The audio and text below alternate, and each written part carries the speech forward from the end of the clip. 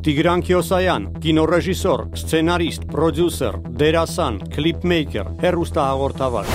Ես երբեք չունեի ներքին մրցակցություն հորս հետ։ Միայն մի գաղափար կար, որ հայրս իմ ու Դավիթի գլուխներ միշտ մտցնում։ Ազգի, տոհմի պատիվը պետք է բարձր պահեք, ասում էր նա։ Ասում էր, ոչ ձեզ է պատկանում այս ազգանունը, ոչ էլ ինձ, այն մեր նախնիներինն է, եւ դուք այն խայտարակելու իրավունք չունեք։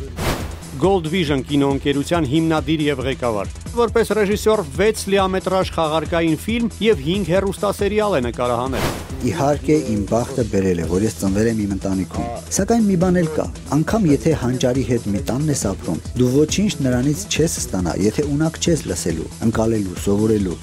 կինոտավրի բազմակի հաղթող է, Տեֆիի դափնեկիր, մրցանակի արժանացել պատուհան դեպի Եվրոպա փառատոնում։